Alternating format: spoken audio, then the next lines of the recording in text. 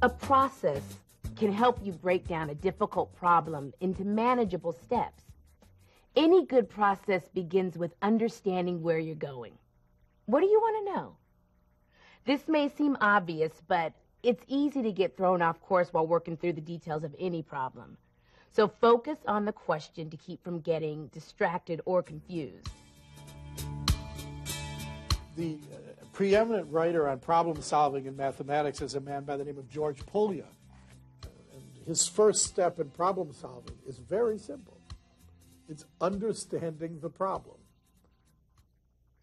And what he means by that is do you know the meanings of all the words in this problem? Do you know what's being asked? Do you know when you would be done?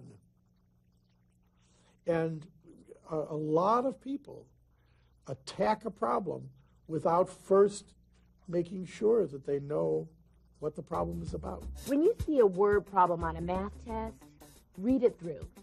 What are you trying to find? A good strategy is to restate the question in your own words, then reread it to make sure you're asking the same question.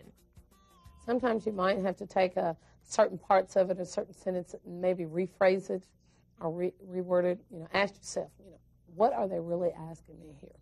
Okay, what information is really given, and, and see if you can maybe think of an, a real life application sometime.